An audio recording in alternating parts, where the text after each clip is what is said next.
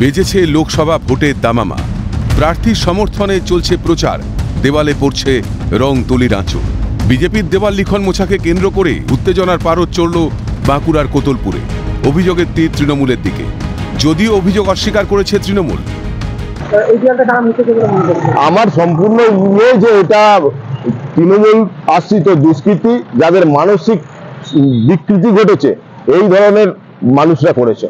দেখুন এরকম কাজ তৃণমূল কংগ্রেসের কর্মীরা কোনোদিন করেনি এবং ভবিষ্যতেও করবে না। তৃণমূল কংগ্রেসের কর্মীরা সর্বদা উন্নয়ন নিয়ে ব্যস্ত থাকে। সাধারণ মানুষের কাছে উন্নয়ন কীভাবে পৌঁছে দেওয়া যায়?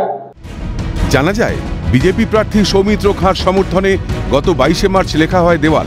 শনিবার সকালে বিষয়টি নজরে আসতেই উত্তেজনা ছড়ায় এলাকায়। ঘটনার জন্য তৃণমূলকে কাঠগড়ায় তুলে পুলিশ প্রশাসন ও নির্বাচন কমিশনের দ্বারস্থ বিজেপি। পাশাপাশি মুছে দেওয়া দেওয়ালে ফের শুরু দেওয়াল লিখন। রাতের অন্ধকারে। এটা লেখা হয়েছিল? এটা লেখা হয়েছিল বাইশ তারিখে। দেখুন এর বিরুদ্ধে স্টেপ বলতে আমরা প্রশাসনকে জানিয়েছি নির্বাচন কমিশনার এটা রিপোর্ট করেছি তারা যা করবার করবে তবে আমরা দলগতভাবে এটা বলতে পারি যে আমাদের দিয়াল লিখে আমাদেরকে ধামাচাপা দিয়ে রাখা যাবে না, কারণ মানুষ জেনে গেছে তারা কি করতে হবে? বিনা যুদ্ধে নাহি দিব সুচগ্র মেদিনী। এক চুল জমি ছাড়তে নারাজ, কেন্দ্র ও রাজ্যের দুই ক্ষমতাসীন দল।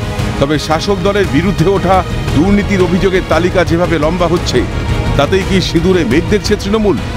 ভোট তো গণতন্ত্রের উৎসব, সেখানে হিংসা ঈর্ষা ছবি কেন? স্বরূপ রায়ের রিপোর্ট ক্যালকাটা নিউজ।